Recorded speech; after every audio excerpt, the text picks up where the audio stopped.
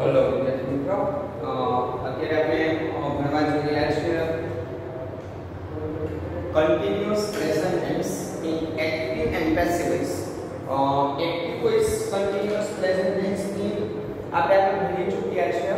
અત્યારે આપણે વાત કરી રહ્યા છીએ continuous present in passive voice એટલે કે કન્ટિન્યુઅસ પ્રેઝન્ટ ટેન્સ ના જે વાક્યો છે આ વાક્યોને how to change into passive આ વાક્યો છે એમને પેસિવ વોઇસમાં કઈ રીતે ચેન્જ કરવા અથવા તો પેસિવ વોઇસમાં આ વાક્યોને કઈ રીતે બદલાવા પરિવર્તિત કરવા એવું અત્યારે આપણે શીખી શીખીએ છીએ આગળ આપણે ત્રણ સાદા કાળ ફરીથી તમને મેમરાઇઝ કરાવી દઉં આગળ આપણે ત્રણ સાદા કાળ સાદો વર્તમાન કાળ સાદો ભૂતકાળ અને સાદો ભવિષ્યકાળ એક simple model ઓક્સિલરીઝ cell will should would can could may અને માઇટ આમની સાથે જે વાક્યોનું એટલે કે ત્રણ સાદાકાર અને સિમ્પલ મોડેલ ઓક્સિલરીઝ વાળા વાક્યો છે એમનું આપણે પેસિવ વોઇસમાં રૂપાંતર કરતા શીખી ગયા હવે આપણે આગળ બે ચાલુકાળ અને બે પૂર્ણકાળના વાક્યોનું પેસિવ વોઇસમાં રૂપાંતર કરતા શીખવાનું છે જેમાં ચાલુ વર્તમાન કાળ અત્યારે આપણે જે ભણી રહ્યા છીએ કન્ટિન્યુઅસ પ્રેઝન્ટ ટેન્સ ચાલુ ભૂતકાળ કન્ટિન્યુઅસ પાસ્ટ ટેન્સ અને યાદ રાખજો કન્ટિન્યુઅસ ફ્યુચર ટેન્સ ચાલુ ભવિષ્યકાળ. તો ચાલુ ભવિષ્યકાળનું પેસિવ વોઇસમાં રૂપાંતર ન થાય. એટલે કે ચાલુ ભવિષ્યકાળના વાક્યનું પેસિવ વોઇસમાં રૂપાંતર થતું નથી. એટલે બે સાદાકાળ ને બે પૂર્ણ વર્તમાનકાળ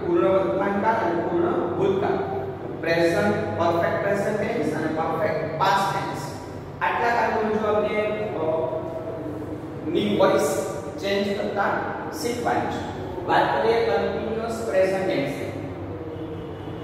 continuous present tense પહેલા તો આપણે થોડું એક્ટિવ વોઇસમાં આગળ ભણી ગયા એમને થોડું એક્ટિવ વોઇસમાં મેમરાઇઝ કરી લઈએ કન્ટિન્યુઅસ પ્રેઝન્ટ ટેન્સ ચાલુ વર્તમાન કાળ ઉપયોગ ક્યારે તો કે ભાઈ વર્તમાનમાં જ્યારે આપણે વાક્ય બોલી રહ્યા છીએ ત્યારે વર્તમાનમાં વાક્ય બોલતી વખતે આપણી નજર સમક્ષ જે ક્રિયા બની રહી છે, અથવા તો આપણે જ્યારે વાક્ય બોલીએ છીએ, ત્યારે આપણી નજરની સામે જે ક્રિયા ચાલી રહી છે અને એ ક્રિયા જો આપણે વાક્યમાં દર્શાવવા માંગીએ છીએ, તો એવી ક્રિયાઓને વાક્યમાં દર્શાવવા માટે વાક્યમાં કન્ટિન્યુઅસ પ્રેઝન્ટ ટેન્સ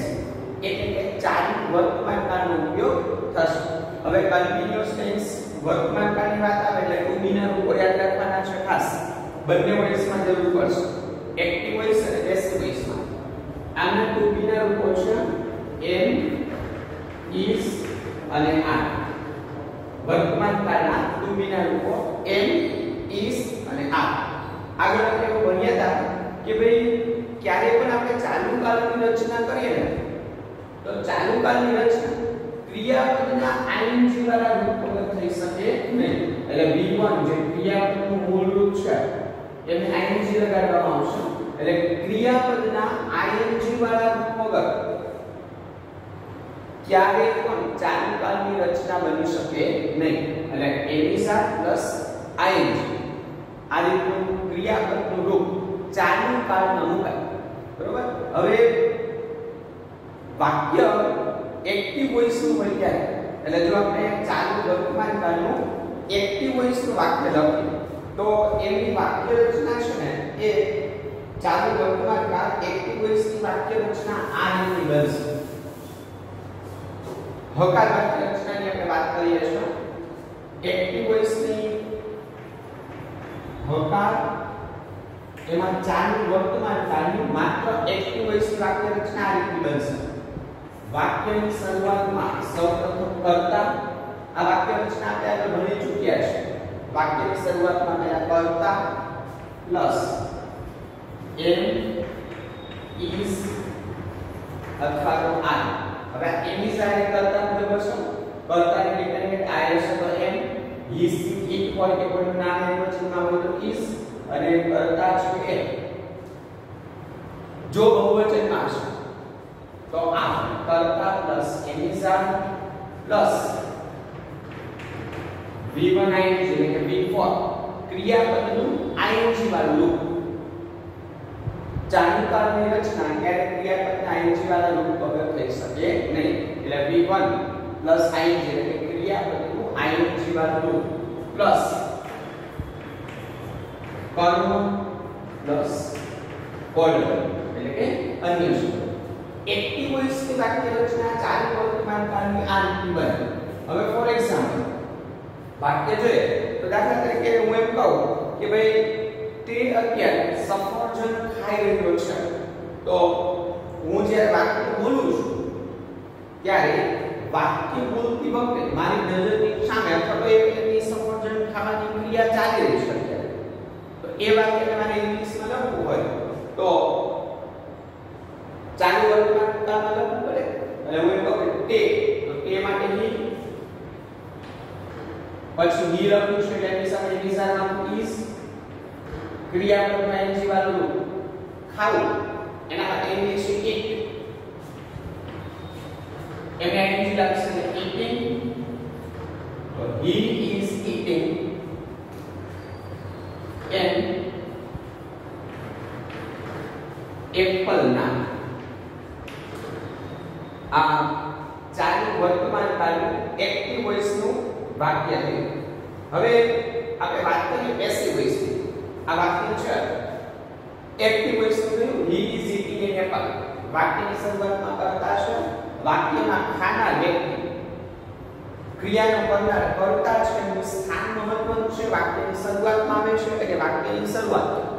એ કરતા થાય છે એટલા માટે આપણે આ વાક્ય જે આપેલું છે એ એક્ટિવ વોઇસ નું છે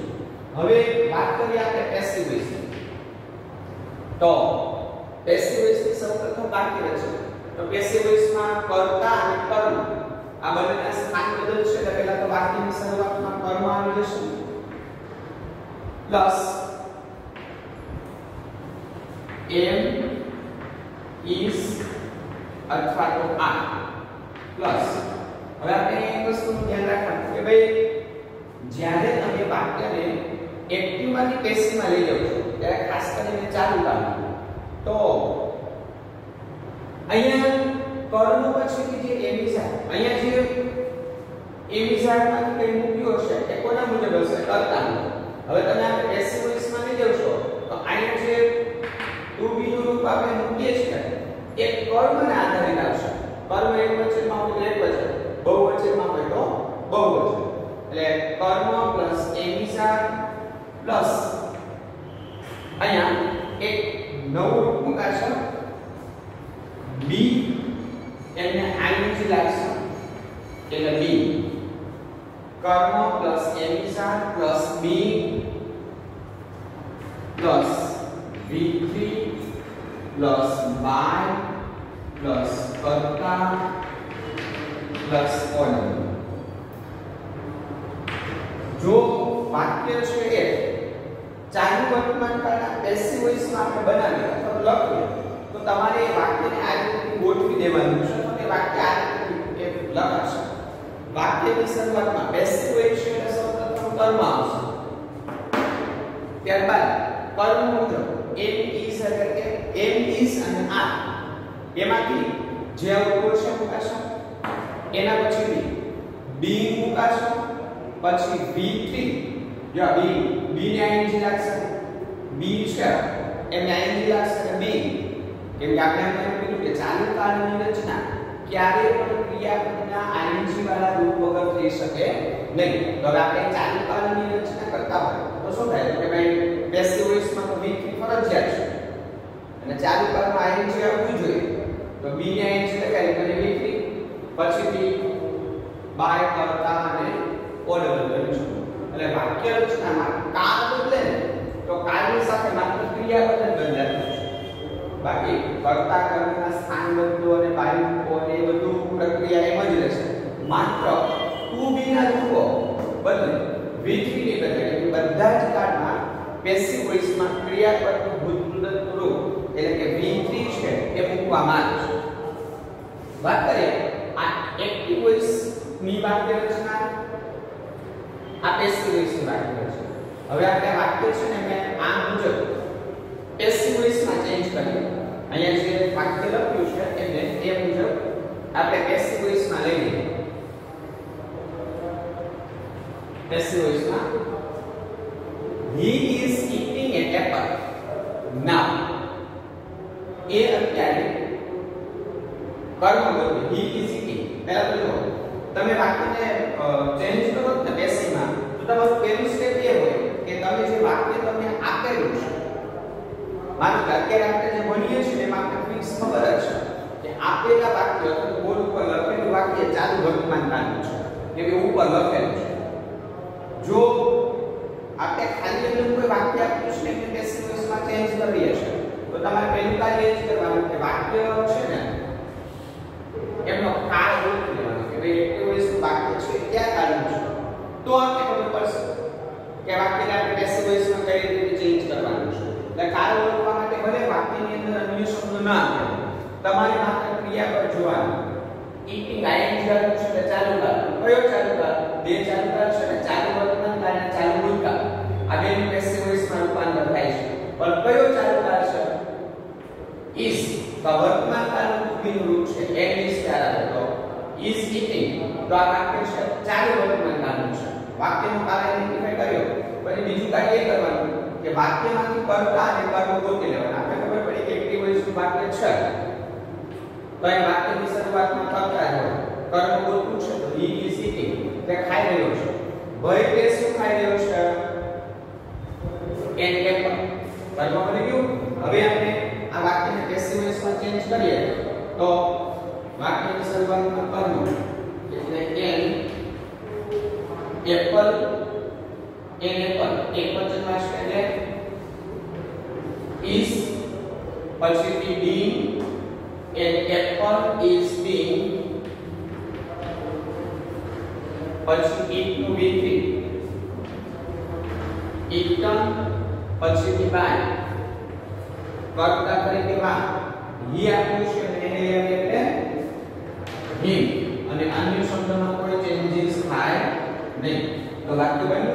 an apple is being eaten by him બરાબર આ રીતેથી વાક્ય રચના મુજબ ચાલુ વર્તમાન કાળ છે એ ચાલુ વર્તમાન કાળના વાક્યો જે છે એમને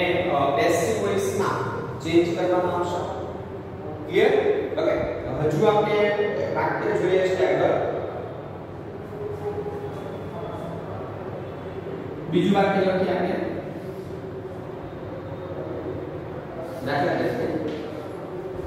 सी इज़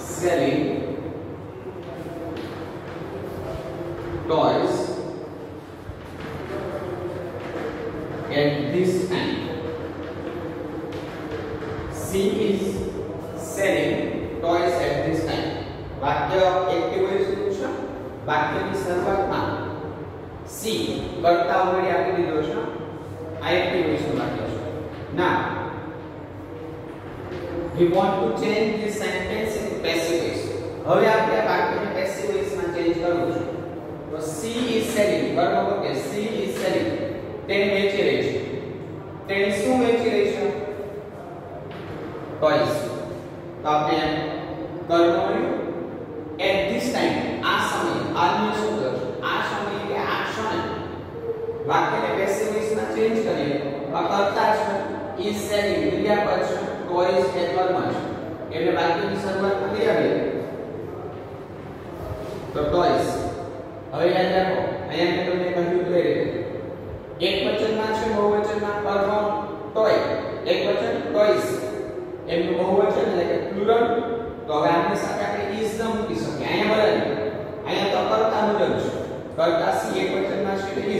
હવે આપણે કર્મ મહત્વનું થઈ ગયું છે તો કર્મ મુજબ એમ is અથવા તો આગળ કર્મ છે એટલે ટોયસ એમની સાથે બહુવચનમાં છે એટલા માટે આ પછી ક્રિયાપદ મૂકે તો પહેલા the toys are being ના સેલ મૂળ ક્રિયાપદ આ રીતનું છે આમનું મૂળ ક્રિયાપદ સેલ આ v1 છે એમ V2 કરીએ તો s o l d sold અને V3 કરીએ તો પણ s o l d sold toys are being sold by C આપ્યું છે ને આની કર્મ વિભક્તિ હોય તો toys are being sold by her at this આખું વાક્ય આની બનશે toys are being sold by her toys are being sold by her at this time બરાબર? તો આખું વાક્ય છે આ રીતેથી પેસિવ વોઇસમાં રૂપાંતર અથવા તો રૂપાંતરણ થશે. બરાબર? આપણે થોડા હજુ વધારે વાક્યો જોઈએ છે ચેન્જ ઇન પેસિવ જેમને આપણે પેસિવમાં ચેન્જ કરવા છે એવા હજુ થોડા આપણે વધારે વાક્યો જોઈએ છે હવકા બરાબર વિદ્યાર્થી મિત્રો આઈ થિંક આઈ વિશ કે અત્યારે આપણે જે સમજ્યા અથવા તો અત્યારે જે બોર્ડ પર કરેલું છે અને આપણે જે કંઈ 15 20 મિનિટ સમજીએ છીએ એ ઓલરેડી હવે તમને થોડું એક્ટિવ પેસિવમાં ખ્યાલ આવતો હશે વાક્ય એક્ટિવ વોઇસમાંથી પેસિવ વોઇસમાં કેમ ચેન્જ કરવું બિલકુલ અઘરું નથી માત્ર ક્રિયાપદો તમારે યાદ રાખવાના છે. જો આખી વાક્ય રચના તમારે યાદ રાખવાની જરૂરિયાત રહેતી નથી. માત્ર ક્રિયાપદ છે ક્રિયાપદ છે એમને તમે યાદ રાખો ને. તો એ વાક્ય પેસિવ વોઇસમાં ચેન્જ કરતા આવે. કે જો બધા જ કાર્ય એક્ટિવ અને પેસિવ વોઇસની વાક્ય રચના સરખી બને. ક્રિયાપદને મૂકી દો તો. જો કર્તા, કર્મ અને વર્તન આ ગોઠવાઈ જશે પછી સાદો વર્તમાન કાળ હોય તો વી બનાવવું હોય. સાદો ભૂતકાળ હોય તો વી ટુ આવતું હોય, ચાલુ કાળ હોય તો એક્ઝાક્ટ છે. ચાલુ ભૂતકાળ હોય તો વોઝ વન છે. ખાલી આટલું બદલે, વાક્યનો કાળ બદલે ત્યારે. અને પેસિવ વોઇસમાં એવું છે. આટલું ફિક્સ છે કર્મ વી થિંગ બાય કરતા ઓડબલ માત્ર બદલે શું? ટુ બી ના રૂપ વાક્યનો કાળ બદલે ને, તો વાક્યના કાળ સાથે માત્ર ટુ બી ના રૂપો છે. એ જ બદલે છે. બરોબર? એટલે આ એકદમ વાક્યને એક્ટિવ વોઇસમાંથી ચેન્જ કરવું એ ખૂબ જ સરળ છે. આઈ થિંક એટલું બધું અઘરું નથી. માત્ર થોડું કોન્સન્ટ્રેટ વાક્યને આપણે જ્યારે એક્ટિવમાંથી પેસિવમાં ચેન્જ કરીએ છીએ, ત્યારે થોડું કોન્સન્ટ્રેટ અને અગાઉની તમને પૂર્વ ક્યારે જેટલી ગ્રામરમાં વિદ્યાર્થી મિત્રો ગ્રામરમાં તમારી જેટલી પ્રેક્ટિસ હશે, એ પ્રેક્ટિસ તમને વધારે ગ્રામર છે ને શીખવશે. મારા કરતા વધારે શીખવશે. તમારી ખુદની પ્રેક્ટિસ કઈ રીતે? માનો ઘરે તમે કોઈ ગુજરાતી વાક્ય તમને યાદ આવે તો પહેલા એને ઇંગ્લિશમાં બોલો માનો તમે ઘરે સાંજના દૂધ પીધું તો તમે એમ કહો કે I am drinking milk at this time હું આ સમયે દૂધ પી રહ્યો છું તો આ એક્ટિવેશન વાક્ય થયું તો હવે તમે એને ઇંગ્લિશમાં ટ્રાન્સલેટ કરી પછી હું બેસી કરો તો બેસી કરે તો મિલ્ક પીવાની ક્રિયા છે ડાયરેક્ટ તમે લખ્યા વગર બોલી શકો milk is being drunk by me at this time હું બેસી સતત વાક્યો તમારી આગળ આવે છે તમે ઇંગ્લિશમાં ટ્રાન્સલેટ કરો સાથે સાથે હું બેસી વોઇસ કરો તો શું થાય કે એવી પ્રેક્ટિસ થશે તમને કે એ હું અત્યારે તમને સમજાવું છું તો તમે લખી પ્રેક્ટિસ કરો છો એના જેવી એક રમતા રમતા અથવા તમારું કામ કરતા કરતા એક સરસ મજાની પ્રેક્ટિસ થશે અને પ્રેક્ટિસ મેક મેન પરફેક્ટ બરાબર તમારી પ્રેક્ટિસ છે ને કે તમારું ગ્રામર ઇમ્પ્રૂવ કરશે અને ઇંગ્લિશમાં મહાવરો એટલે કે પ્રેક્ટિસ છે ખૂબ મહત્વની છે એટલે પોસિબલ હોય એટલે પ્રેક્ટિસ કરો. સતત ઇંગ્લિશમાં વાક્ય બનાવી રાખો કંઈ કામ કરો છો તો એ કામને લગતું વાક્ય માનો તમે તમારું હોમવર્ક કરી ગયા છો તો I am doing my homework બનાવો passive homework is being done by me direct વાક્યનું passive વોઇસમાં રૂપાંતર કરશો તો આવી રીતે સતત અને સતત પ્રેક્ટિસ કરતા રહો એ ખૂબ જ હેલ્પફુલ આ પ્રેક્ટિસ છે એ આપણને ખૂબ જ ઉપયોગી થવાની છે બરોબર આગળ જોઈએ આપણે ત્રીજું વાક્ય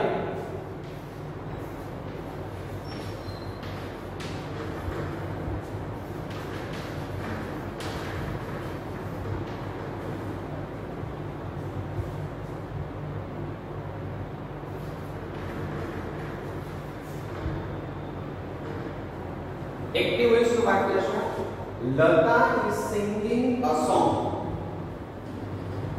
લતા ગીત ગાઈ રહી છે હવે મારે વાક્યમાં થોડો ચેન્જ કરવો છે અહીંયા મારે લખવું છે આગળ L I S T E N અલ્પ વિરામ આ પહેલી વાત Lata listen Lata is singing a song હવે યાદ કરો, આપણે જ્યારે આ કાર ભણીએ હતા એક્ટિવ વોઇસમાં એડિટિંગ માટે, ત્યારે આપણે એવું ત્યાં સમજ્યા હતા કે ભાઈ વાક્યમાં આજ્ઞાન ક્રિયાપદો listen watch look see hear આ બધા આજ્ઞાન ક્રિયાપદો છે. આ વાક્યની શરૂઆતમાં તરત આવે. એમના પછીથી અલ્પ વિરામ આપેલું છે. અને પછીથી જે વાક્ય આપેલું છે ને, એ વાક્ય હંમેશા ચાલુ વર્તમાન કાળનું જ હોય. એ વાક્ય હંમેશા ચાલુ વર્તમાન કાળનું હોય એટલે આજ્ઞા ક્રિયાપદો છે. હું એમ કહું સાંભળો. હવે સાંભળવામાં કોઈ બોલતું હોય તો હું તમને કહું ને કે ભાઈ સાંભળો. માનો કાંઈ લતા ગીત ગાય છે, પણ ગાવાની ક્રિયાની ચાલુ હોય તો હું તમને કહું કે સાંભળો. લતા ગીત ગાય જો. હમણાં આપણે હું ગાવાનું શરૂ થશે. એ ગાય એમને ગાવાનું ચાલુ કર્યું છે. બરાબર? તો લુક હિયર સી વોચ આ બધા લિસન આ બધા આજ્ઞા ક્રિયાપદો છે હવે આવા વાક્યો જો આજ્ઞા ક્રિયાપદ વાક્યમાં આવે અને એ વાક્યને આપણે પેસિવ વોઇસમાં ચેન્જ કરીએ છીએ તો કઈ ચેન્જીસ નથી લિસન ટુ લિસન ત્યાં ત્યાં જાય લિસન પેલા દરમિયાન પછી આગળ Lata is singing a song Lata ગાય છે શું ગાય છે તો listen a song is from Equatorial National Manage. Listen, a sound is being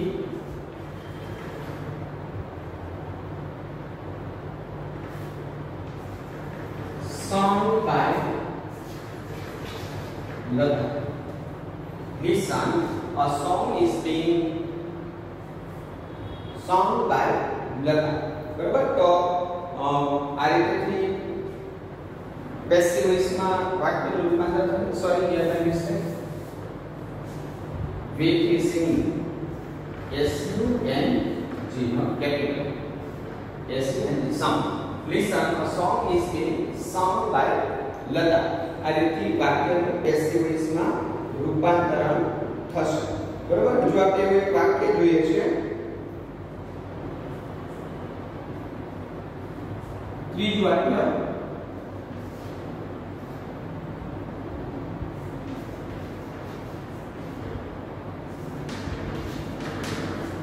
keep silence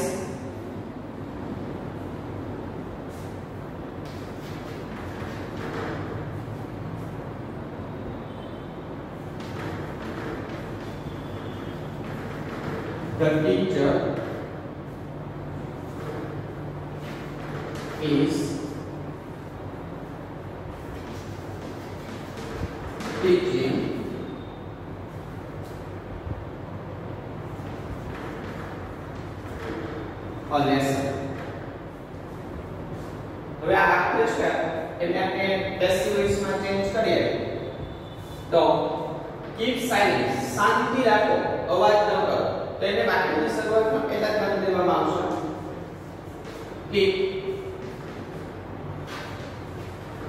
silence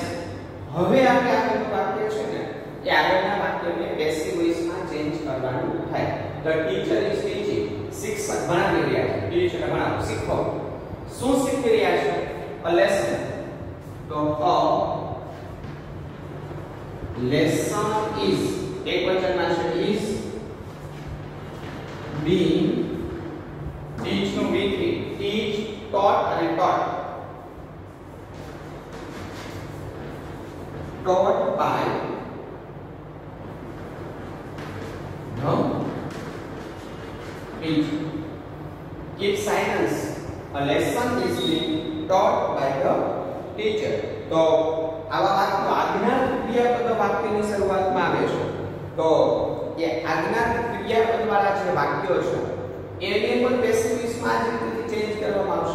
વાક્યની શરૂઆતમાં આજ્ઞા ક્રિયાપદ આપેલું છે. તો એને આપણે વાક્યની શરૂઆતમાં જ્યાં આપેલું છે ત્યાં ત્યાં જ રાખી દેવાનું છે.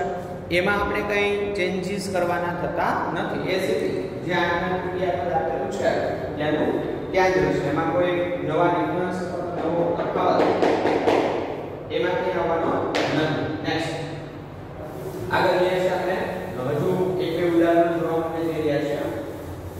continuous how to change into decimal when it is decimal then question number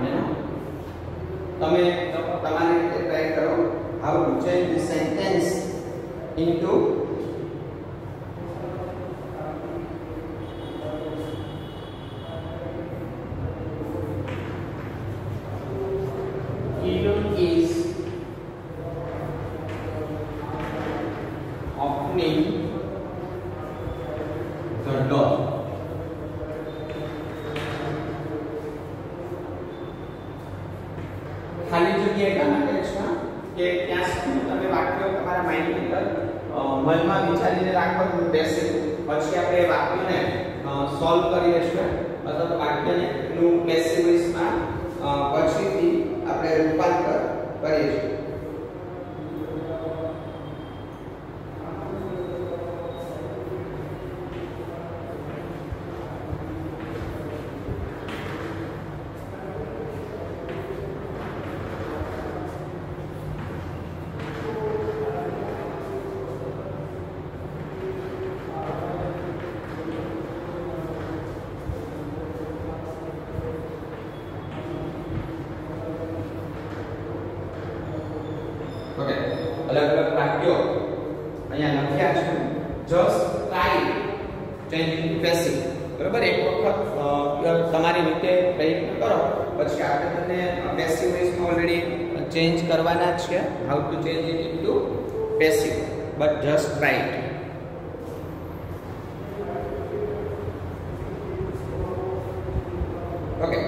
જુઓ પહેલું વાક્ય C is preparing a dish. સાત માટે સરળ વાક્ય છે. C is preparing. તે તૈયાર કરી રહી છે. શું તૈયાર કરી રહી છે? A dish. A dish એક વચનમાં છે યાદ રાખજો. A dish એક વચનમાં છે એટલા માટે is. પછી ચાલુ કાળ છે એટલા માટે being. A dish is being prepared quickly. Prepared. P R E P A R E D. prepared by her. A dish is being prepared by her. પાંચમું વાક્ય આપણે સાદું અને સરળ વાક્ય છે કિરણ is opening the door કર્મ કિરણ is opening what the door passive the door is the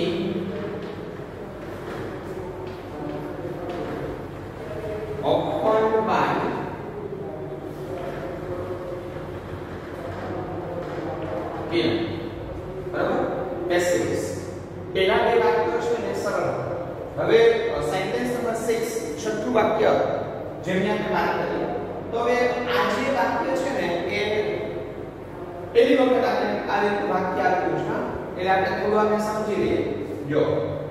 be careful while you are crossing the road વાક્યનું Gujarat કેવું થશે બી કેરફુલ કાળજી રાખો જ્યારે while એટલે જ્યારે ત્યારે when અને while while you are crossing the road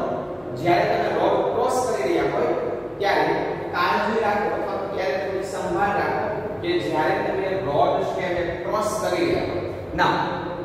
આપણે પ્રશ્ન નહીં થાય તો થોડું અટપટું વાક્ય છે કઈ જગ્યાએ વાક્ય નથી આટલું આજ્ઞા વાક્ય છે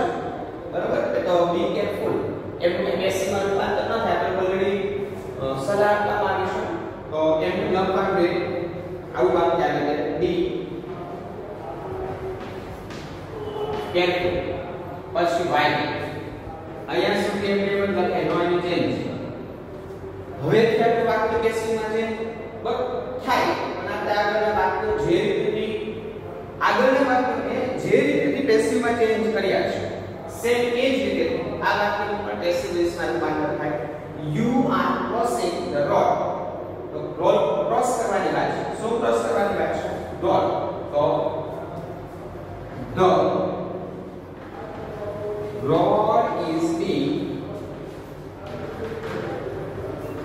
the rod is being crossed with crossed the being crossed by you બરાબર તો આવી રીતથી કન્જક્શન વાળા વાક્યો આવે મેઇન અને વાઇલ વાળા વાક્યો તો એવા વાક્યો પણ સેમ એ જ રીતે રૂપાંતર થશે એ વાક્ય બી કેરફુલ એક વાક્ય છે કે જ્યાં આપ્યું છે તેને ત્યાં એમ જ લખાય છે બરાબર રીતે તો આ તો કન્ટિન્યુઅસ પ્રેઝન્ટ ટેન્સ ના હકાર વાક્ય વધારે સેલ્ફ પ્રેક્ટિસ તમારે જાતે થોડી કરવાની છે હવે આપણે જોવાના છે આગળ નકાર અને પ્રશ્નાર્થ વાક્ય બરાબર તો નેક્સ્ટ આપણે વાત કરવાના છીએ કન્ટિન્યુઅસ પ્રેઝન્ટ ટેન્સ ના નકાર વાક્યની કે નકાર વાક્ય છે પેસિવ વોઇસમાં કઈ રીતે રૂપાંતર થશે